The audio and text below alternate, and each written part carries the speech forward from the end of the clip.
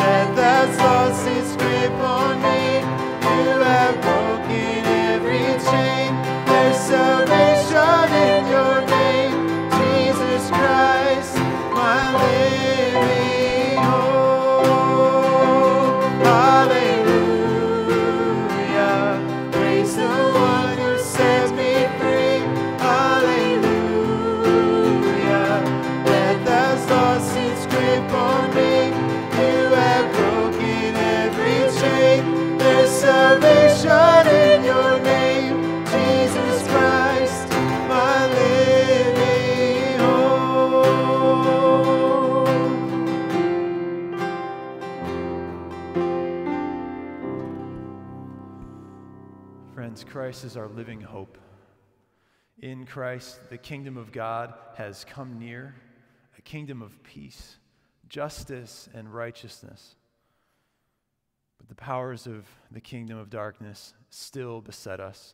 Our days are marked by temptations. Those temptations turn too easily into sin. But Christ, who himself faced temptations, is yet our living hope, offering us forgiveness, inviting us into his freedom.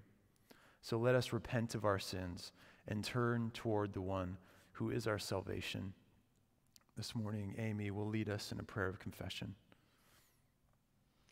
Sheltering God, you have called us to follow you into your love, your goodness, your freedom. We confess that so often we choose to follow the tempter instead. We listen to the lies that promi- promise us whatever we want, and we foolishly believe that what we want is better than what you provide.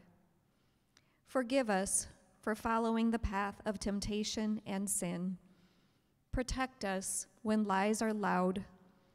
Lead us away from that path by your power, for on our own we can do nothing. Draw us in and shelter us, O God. We stand in need of you.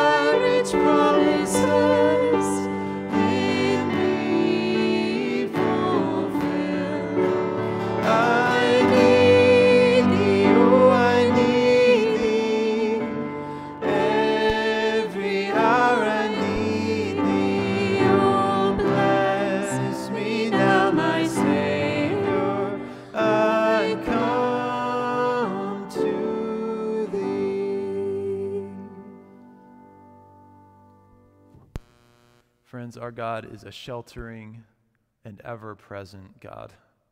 So let us profess together the good news found in Psalm 121, answering the psalmist's question Where does our help come from? Would you say this with me? My, help comes from the Lord, the maker of heaven and earth. He will not let my foot slip. He who watches over me will not slumber. The Lord watches over me. The Lord is my shade at my right hand. The sun will not harm me by day, nor the moon by night. The Lord will keep me from all harm. He will watch over my life. The Lord will watch over my coming and going, both now and forever. And that promise that God would be with us, that promise is sealed in Jesus' baptism. So let's now remember that as we listen to this water being poured.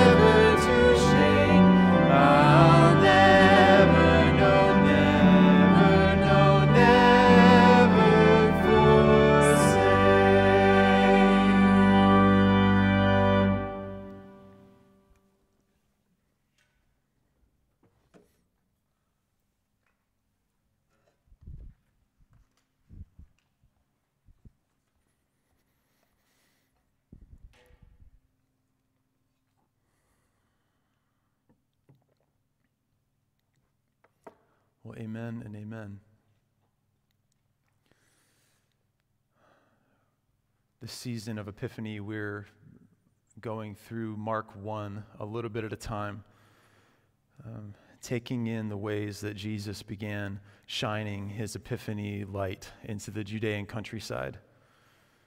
This is how God entered the world, and this is how the redemptive work of Jesus began. Our text this morning is short. It's verses 12 and 13 from Mark 1. They sound like this After Jesus was baptized, the Spirit immediately drove him out into the wilderness. he was in the wilderness 40 days, tempted by Satan. And he was with the wild beasts, and the angels waited on him. This is the word of the Lord. Thanks be to God. The Son of God went to the wilderness alone to meet the devil.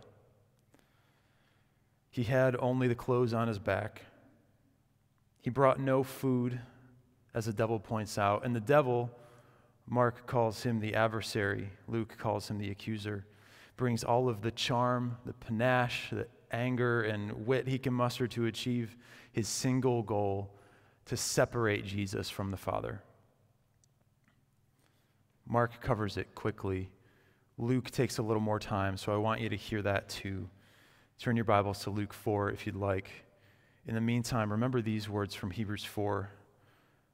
For we do not have a high priest who is unable to sympathize with our weaknesses, but one who, in every respect, has been tempted as we are, yet without sin. And these from Romans 20, Romans 8:20. The Spirit helps us in our weakness. For we do not know how to pray as we ought, but that very Spirit intercedes with sighs too deep for words. So listen to this from Luke 4. Jesus, full of the Holy Spirit, returned from the Jordan and was sent by the Spirit into the wilderness, where for 40 days he was tempted by the devil. He ate nothing at all during those days. And when they were over, he was famished. The devil said to him, If you are the Son of God, command this stone to become a loaf of bread. And Jesus answered him, It is written, one does not live by bread alone. Then the devil led him up and showed him in an instant all the kingdoms of the world. And the devil said to him, To you I will give all of their glory and all of this authority, for it has been given to me, and I give it to whoever I choose. If you will worship me, it will all be yours. And Jesus answered him, It is written, Worship the Lord your God and serve only Him. Then the devil took Jesus to Jerusalem and set him on top of the pinnacle of the temple and said to him, If you are the Son of God, throw yourself down from here, for it is written, The Lord will command his angels concerning you to protect you, and with their hands they will bear you up, so you will not strike your foot against a stone. And Jesus answered him, It is said, Do not tempt the Lord your God. When the devil had finished these tests, he departed from Jesus until an opportune time. This too is the word of the Lord. Thanks be to God. So, like Peter says, the devil continues to prowl around like a lion, looking for someone to devour. But he never found a more opportune time to get to Jesus. He could never triumph against Jesus directly, so he had to go around sowing his lies, encouraging unrest in the religious community, corrupting hearts, so that when it came time to choose who should live between Jesus and the revolutionary Barabbas, the crowd chose Barabbas. Lying and deceit and dividing and tearing down. That is the extent of Satan's power. Though not since the book of Job had we seen it so strongly sent against one individual. You remember Job, the perfect servant of God, blessed in every way, and yet always so obedient. Like a playground bully, the devil comes and wrecks everything around him just trying to get him to curse God's name. The devil's goal in the desert with Jesus is the same as it was with Job to divide God's servant from God, because to ruin God would be a gain for the devil. They're directly opposed, Satan and Jesus, and foils for each other. All the light that Satan can absorb is reflected magnificently onto the Son of the Most High. Where Satan lies, Jesus tells the truth. Where Satan attacks, Jesus deflects. When Satan tries to manipulate, Jesus remains firmly planted in the truth. They're opposed, but they're not equals. Make no mistake, in these 40 days, the devil never stood a chance of achieving his goal. That Jesus was tempted shows us his humanity. That he endured his temptation without giving an inch shows us that he was also God, united to the Father by the Holy Spirit in every moment for all of time. For the devil to try to alter that was frankly a futile effort the three persons of the Trinity being inseparable. Nonetheless, Jesus was tempted.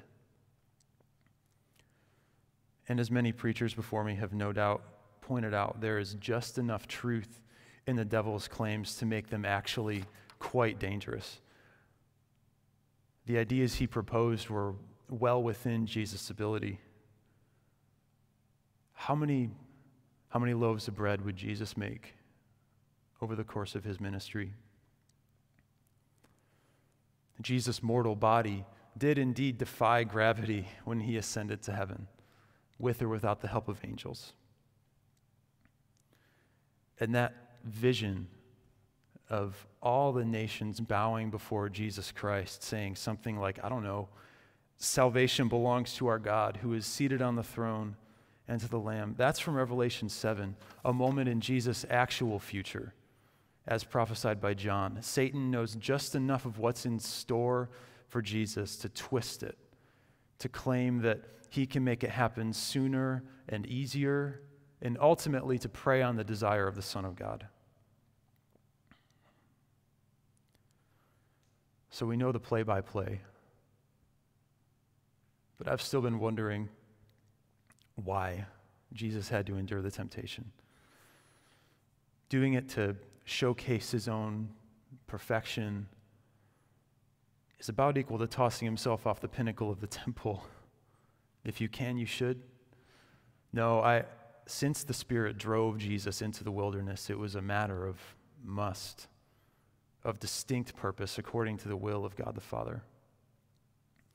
And there are probably more reasons why than what I can see, but as I sought the wisdom of my elders this week, I found two good reasons for Jesus to have endured the temptation. The first comes from fourth century Christian Gregory of Nazianzus, who wrote, What he has not assumed, he has not healed. Speaking of Jesus, what he has not assumed, he has not healed. For Gregory, this spoke to the dual natures of Jesus Christ. He was both God and human bringing all of God's divinity into the finite person of Jesus of Nazareth, who had a mind, a body, personality, all unique, all his own. For Gregory, Jesus took on all of those things and redeemed them because whatever he has not assumed, he has not healed. Jesus took on a human body to heal the condition of all of our bodies we who are made of dust, who have blemishes and sicknesses and stress responses, we've been offered healing because of the one who went ahead of us to the cross, because Jesus took on a body. And Jesus took on a human mind to heal the condition of all of our minds. We who use our minds for both good and evil, for things colossal and mundane and for us who still desire what is not right, who are so close to ruin all the time, we have been offered a way to resist that evil in Him whom the Father sent. And so Jesus assumed our temptation, He took it on in order to heal it. So, that ambivalence we sometimes feel about our moral lives doesn't matter if I do this, I guess, since nobody's looking. And the selfishness, yeah, I, I deserve that. And the hopelessness we feel when we wonder why Jesus hasn't come back yet and just fixed it all for us.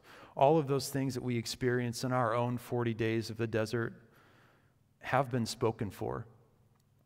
Jesus carried them with him on his way to the cross, and he picked them up here.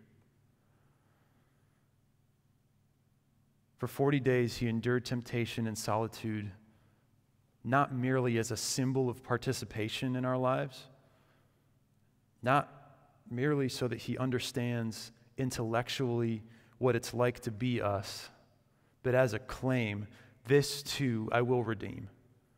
What he has not assumed, he has not healed. And in the desert, Jesus assumed all of it. So that's the first elder, Gregory of Nazianzus. The second is John Calvin. In his gospel commentary, he gives another reason behind Jesus' temptation. For him, those 40 days were a battle in which Jesus fought, quote, in single combat with the devil, that by his victory he might obtain a triumph for us. By his victory, he might obtain a triumph for us. A flag on the battlefield. David felled Goliath, and now there's a signal out there that says, Advance out of hopelessness and out of misery. Calvin calls it a battle because that's what it always was for us this hopeless, uphill push against sin and death. We were losing. We had lost, actually. Jesus is called the second Adam because he did what the first Adam could not. He showed us that when the Spirit of God is on our side, we can repel the devil's advances, and there is nothing he can do to us. That victory leads us forward out of the desert into the new Eden. That is what has been won for us. So maybe we're still tempted, and sure, there's still sin in the world, but we now have what we need to withstand the devil's onslaught, namely the sure knowledge that Jesus is with us. The devil said it himself, actually. You who live in the shelter of the Most High, the Lord will command his angels concerning you to protect you so that you will not dash your foot against a stone. That's Psalm 91. The twist he put on it runs something like Do whatever you want and God will catch you. The way we should read it, what it actually says, is choose to surrender your life to the Most High, and he will protect you.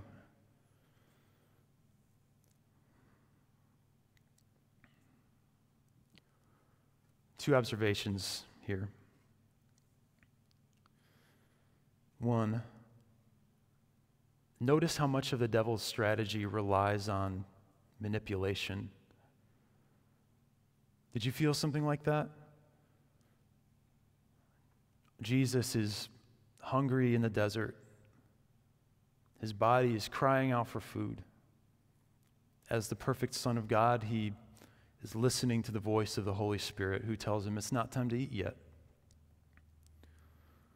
Then the accuser shows up and tries to create a new reality for Jesus. You know, actually, if you were the Son of God, you'd be eating right now. Don't let the accuser feed you his lies. If you feel trapped in sin, ask for help. If you're battling an addiction, seek accountability, seek connection. There is no snare that Jesus can't fetch you out of. So, to all this, St. Augustine adds Do you think only of Christ's temptations and fail to think of his victory? See yourself as tempted in him and see yourself as victorious in him. He could have kept the devil from himself, but if he were not tempted, he could not teach you how to triumph over temptation. Second, Jesus fought with no weapon. And that should matter to us. I don't know about you, but I've seen enough guns being brandished lately. Haven't you feared enough for your lives or the lives of your daughters and sons or friends, relatives?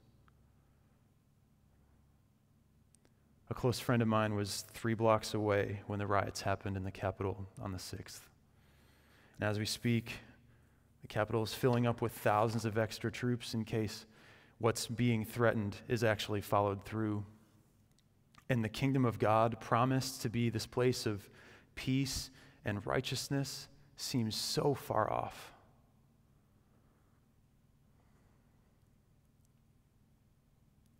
Those of us who have given our lives to Jesus would do well to remember that when he approached the evil one, he brought no weapon. He had the presence of the Holy Spirit with him. He had a ready command of Scripture and a commitment to prayer. His hands were empty. His hands were always empty. And from his victory, we can learn that our hands can remain empty too. Because we are not alone, and we never have been and the devil is wrong, and he always will be. And the only real power the devil has over our lives is the power we let in to influence us. Because there is one healing and one victory, and they come from Jesus Christ.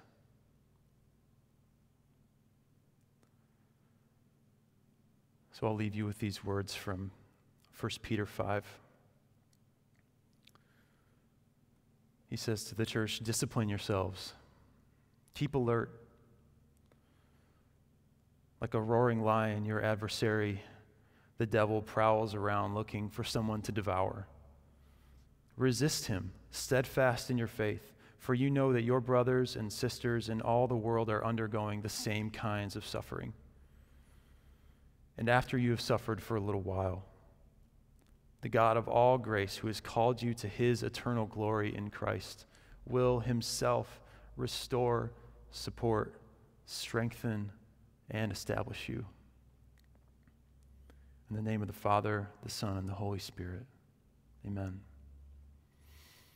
Would you pray with me?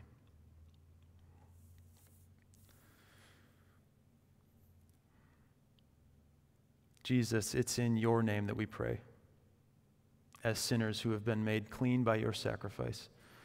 In your great love, you fought for us, and you chose to endure a life of trial and human difficulty in order to bring us healing and the promise of brighter days ahead.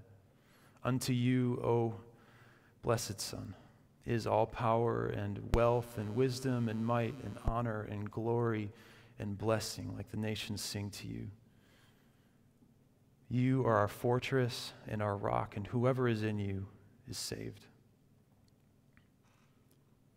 So we know that though the devil comes to steal and kill and destroy, your very life guarantees that we may have life and live to its fullest. We praise you, our deliverer. At the same time, Jesus, we confess that when we feel the grip of fear upon us, or feel the pull of sinful temptation, we do sometimes doubt your power and your presence and your delivering hand. And we have at times given over to that fear, given ourselves over to that fear or temptation instead of enduring it with your Spirit's help. Forgive us, O God, for ignoring your presence in times of trial.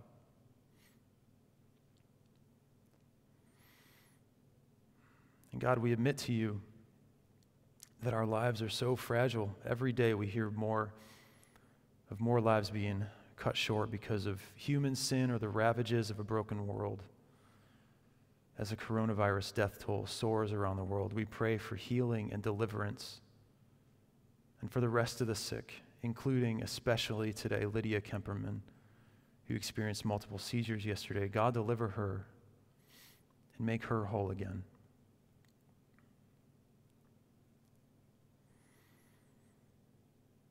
As our nation holds its breath going into this week, God, I pray for a relief from violence, that those who would mean harm would stay at home. But more than that, I pray for healing into our fractured society, that anger would be replaced by compassion and disagreement with understanding. The problems of our day seem too large to manage, much less to pray for, but God, nothing is too big for you. And as we pray for change, for the better, for healing, and the coming of your kingdom. As we pray for those things, we offer ourselves ready to be your agents.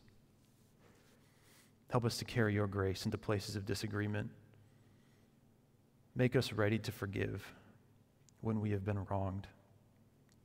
Help us to remain strong in you when we are tempted. Teach us your way of peace. Above all, O oh God, you are our hope and our shield. Thank you for sustaining us and for keeping us safe.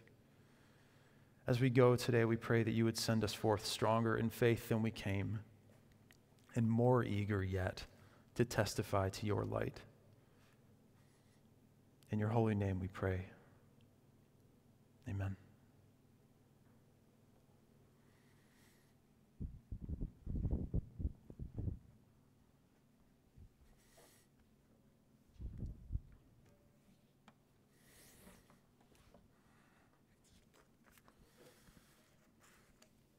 Next, I invite you to sing with me this song, You Are With Me, written out of Psalm 121, some bits of Ezekiel, and that refrain I know you're with me, you are for me, you've been behind me, you go before.